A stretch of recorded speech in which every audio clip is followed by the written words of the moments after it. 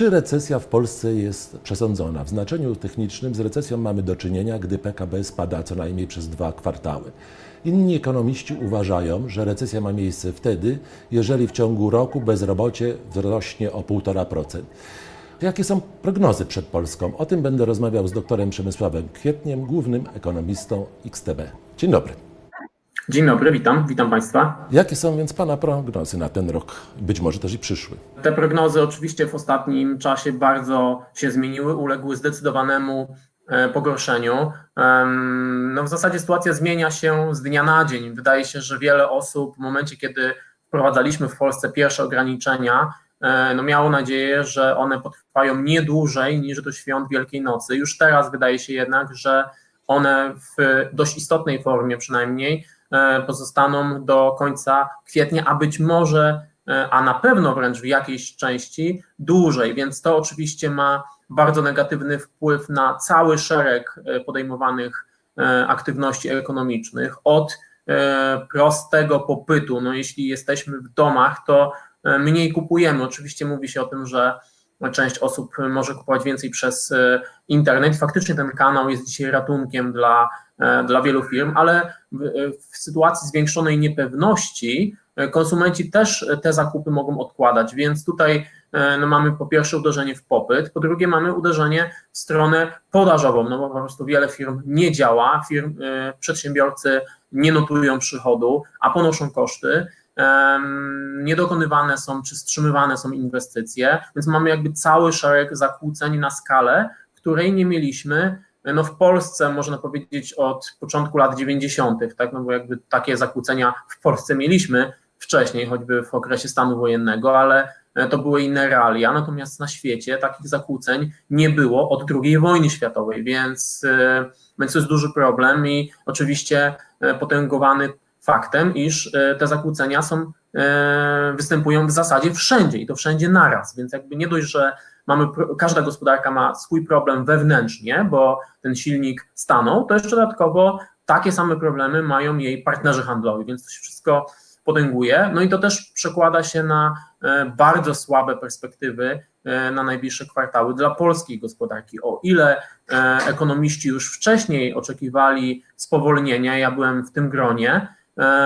no to to spowolnienie miało być rzędu 3% wzrostu gospodarczego w bieżącym roku, a wy, wydaje się, że będziemy mieć 3%, ale spadku PKB rok do roku. Takiej sytuacji nie mieliśmy e, nigdy e, w, no, od początku lat 90., nawet ten okres globalnego kryzysu finansowego przyszliśmy z niewielkim wzrostem PKB. Także e, no, jest to duży cios dla gospodarki i on będzie widoczny w zasadzie w danych każdego rodzaju. A rok przyszły? Pan prognozuje jaki wzrost PKB?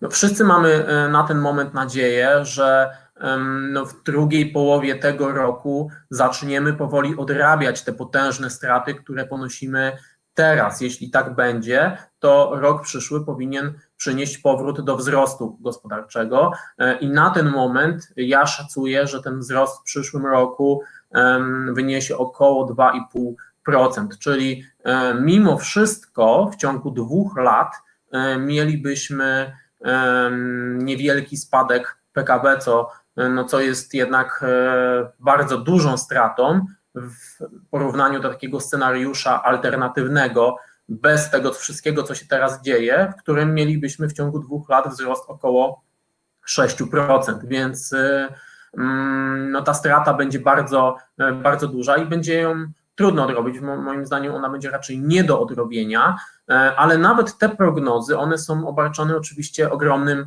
e, błędem i ogromną niepewnością, bo jest cała masa e, czynników, które mogą sprawić, że no, sprawy się skomplikują, takich jak upadłości firm, takich jak niepewna skala. Wiadomo, że ona będzie duża, ale nie wiadomo jak duża, wzrostu bezrobocia, takich jak reakcji na globalnych rynkach finansowych, gdzie mamy też masę problemów.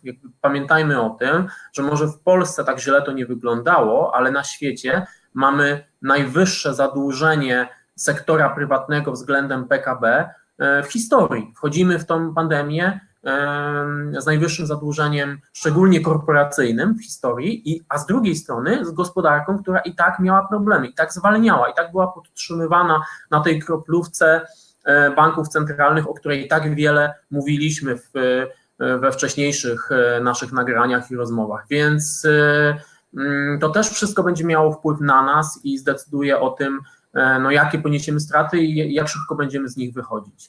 Najczarniejszy scenariusz, jaki czytałem, to spadek PKB aż o 8 punktów procentowych w 2020 roku. Przesada? Wydaje się, że w całym roku PKB nie powinno spaść aż tak mocno, e, no bo jednak pamiętajmy, no na PKB składa się wiele takich e, czynników, które są w miarę stabilne, takich jak nasza jakaś no w miarę podstawowa e, konsumpcja.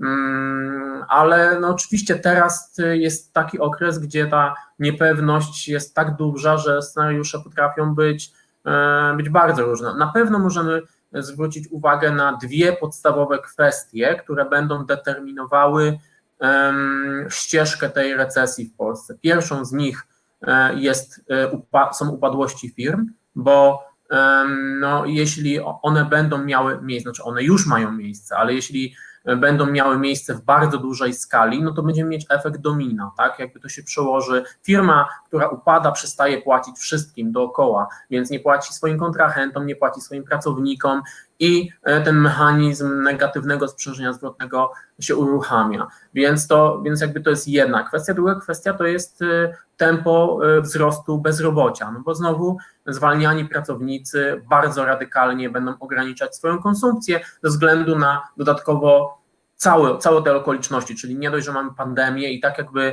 no, raczej jest nacisk na, na to, żeby przebywać w domu, żeby jakby ograniczać swoją aktywność, to dodatkowo osoba, która teraz traci pracę, jakby w tak dużej niepewności, takim ogólnym trochę strachu społecznym, no ona też m, będzie bardziej ograniczać swoje wydatki niż w sytuacji, gdyby tą pracę straciła, może powiedzmy sobie, w normalnych okolicznościach. Więc znowu tutaj wzrost bezrobocia będzie, będzie tym czynnikiem, który jakby skala tego będzie bardzo niebezpieczna. O tym, że recesja jest w Polsce nieunikniona, rozmawiałem z doktorem Przemysławem Kwietniem, głównym ekonomistą XTB. Dziękuję za rozmowę. Dziękuję również.